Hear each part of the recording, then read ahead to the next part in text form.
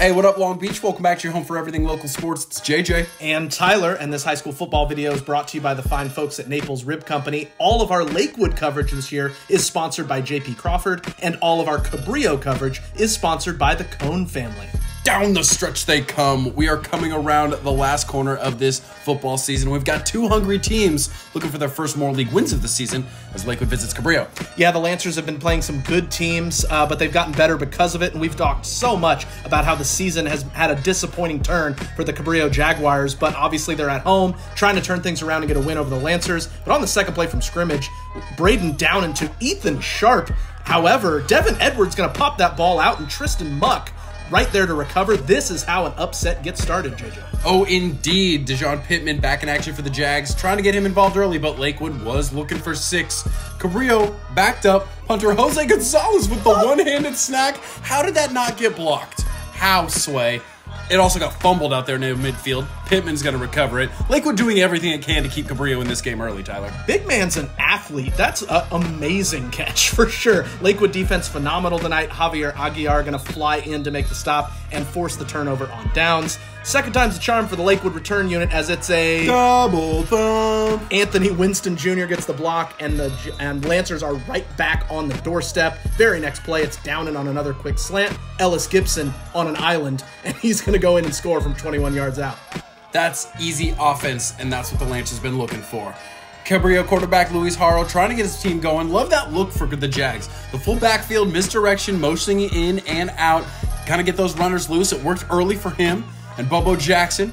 Uh, the problem was he didn't really have time to throw, so that doesn't really work. Yeah, Ravana Tufugafale coming in and getting the sack right there. Not impressed. Thumbs down. First play on the next Lakewood drive. Are you muck enough? You know, Muck is kind of an underrated Pokemon, JJ. Tristan Muck with the INT. I like that. Uh, Cabrillo passing game, not liking this though. They were just a step off all night, killed a few really promising drives. Lakewood trying to get his ground game going all season, and it's working tonight. Caden Clark gets loose for a 39 yard run. That's into Jack's territory. And this is how these things go, right? Everybody, including me, fooled by the play action fake and down it.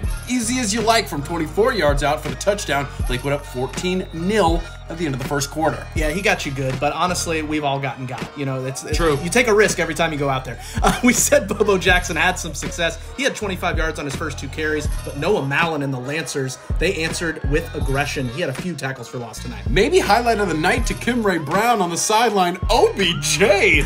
He was called out of bounds, but I don't care. I want to look at that again because that is such a beautiful catch. Two one-handed catches tonight. Yeah, don't stress uh, on, on the feet work. Focus on the hands. Uh, a few plays later, big shouts to the Lakewood offensive line. Given Downen all kinds of time, he finds Caleb Foster all by himself. And that's another easy touchdown, 21 0 Lakewood. Yeah, Lakewood cruising at this point. Already showed you Clark Foster, and now here's Zion Smith with a nifty sidestep get out of the box and off to the races. The law firm of Clark Foster and Smith. That's a 42 yard touchdown. It's working for the rushing attack. Lakewood up 28 0. Lakewood getting right back to work in the second half as Downen continues to spread the ball around. This one's 19 yards to JT Deku. 35 0 Lakewood as they were getting what they wanted. Uh, let's take a moment to give some big shouts to this Cabrillo football team and guys like Haro. They never hang their heads. They never give up. They're always showing growth as a program. Unfortunately, when you get sacked seven times, it's tough to get your offense in the right spot. Speaking of quarterbacks not afraid to use their feet and deliver a hit, he's all the way down and for this. Braden on the move, 33 yard pickup right here and finishing with authority, sticking his nose in here. Then he's going to cap his night with a fourth touchdown pass to a fourth different receiver. This one to Malachi Johnson, 30 yards. He's going to get the clock running in the fourth quarter, Downen 12 for 20, 202, four TDs, two interceptions, but also a TD rushing. Lakewood wins it 56 0. Lakewood going to host Jordan next week in a big league game, while Cabrillo is going to host Wilson. Thanks as always to all of our sponsors, including Ocean Law Center. And if you want to continue to follow everything local football, you keep it right here at the562.org.